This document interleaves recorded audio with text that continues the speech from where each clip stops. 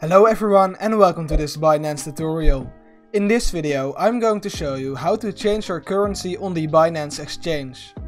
As you can see, right now all the prices are in dollars and I don't like that because I live in Europe, so I would like to change them to Euro. Even when I go over to my wallet overview, actually to my Fiat and spot page, all the prices are in dollars. And the same for when I go to markets, everything is in dollars. So, to change your currency, all you need to do is to go over to the top right. So, just keep your cursor on the USD, and as you see, the color will change from white to orange. So just click on this. And once you click on that, there will be a pop-up looking similar to this one. So right here you can change the currency Binance is displaying the prices in. So as you can see, right now the prices are in euro.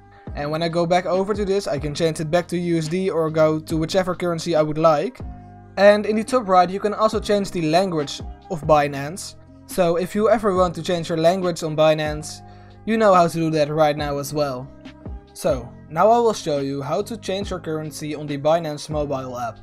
First off, open the Binance app and log in. Once you're logged in, go over to the top left and click on the icon. Then scroll down and click on settings. In the middle of your screen, you will see the language and the currency. So just click on the currency. Right here you can search for the currency you want to use, like Euro or USD. But of course, you can also scroll through all the currencies. And to change your language, just go back to the menu and click on language and select the right language right here. If this Binance tutorial was helpful, let me know by leaving a like or subscribing to my channel. See you next time!